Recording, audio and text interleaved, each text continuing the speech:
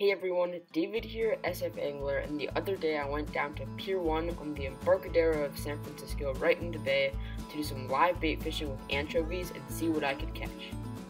And the first thing I did right when I got there was throw out a dead anchovy that I saved from the last time I went, that way I could get bait in the water as soon as I got there, and just a little short cast so that my bait doesn't fly off the hook. And I'm letting it sink all the way to the bottom, that's where the fish are.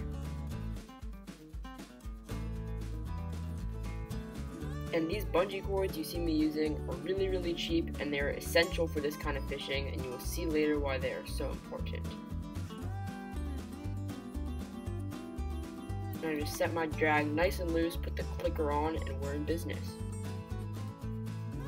Right here I'm filling up my bait bucket. You can make your own or these are really cheap, only $5 online. And this is important, that way when the anchovies come through you can load up on all your bait for the day and keep it alive to use for the rest of your fishing trip. And the next order of business is getting some live bait. So here I'm taking out a sabiki rig and I like to snip them in half after I buy them. That way I get two rigs for the price of one and I comply with the San Francisco Bay three hook limit. And I checked a few spots that I know the bait tends to hold during low tide. And it took a little while to find a school, but eventually I found them and I have two videos in depth on catching anchovies I'll link up in the corner if you want to learn how to do this. So once I found the bait, I loaded up for all the bait I needed for the rest of the day. Here actually one of the anchovies flopped right into the bucket and I actually spent a while looking on the ground trying to find it, only to realize it was in my bucket already. And it's essential with these northern anchovies especially to keep giving your bait fresh water so they survive while you're catching bait and your bucket isn't hanging in the water. Then I replaced my dead anchovy with a nice lively one and casted it out. And soon after that, I was trying to catch a little bit more bait, and I hear my clicker absolutely screaming. I run over to my rod, and this is where the bungee cord is so important when you hook a big bat ray like this and it takes its initial run.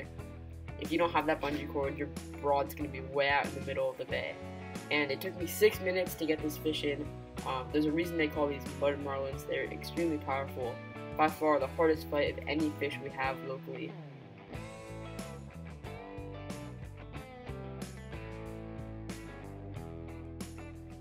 And I'm extremely grateful that this other guy fishing had a landing net because I was not prepared and this fish was way too big to flip up onto the pier.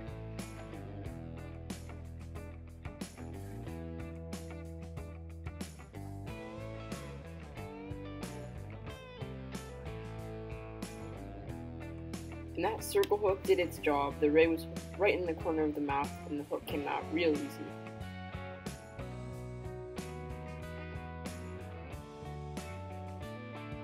That bat ray gave me a really great fight, so I picked him up and sent him back where he belongs. Then I put on a fresh new live anchovy and casted it out. And when the current is strong, I check my line pretty frequently to make sure there's not any seaweed fouling up my rig.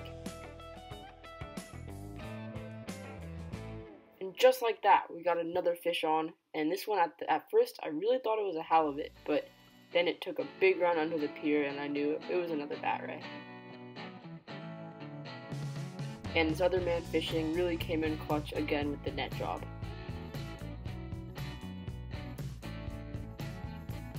And I like to flip the bat rays over onto their back to unhook them. That way I get as far away from that stinger as possible and they calm down a little bit. And I see a lot of anglers really struggle to handle bat rays, but it's real simple. Just get four fingers in the mouth and your thumb on top of the head. It's secure, it works with all sizes of rays, and it's the safest way to hold them for both you and the ray. And just like that, we sent him right back where he belongs. Hope you enjoyed this video because I definitely had a lot of fun fishing as I always do. And I got a lot more videos coming soon, so stay tuned.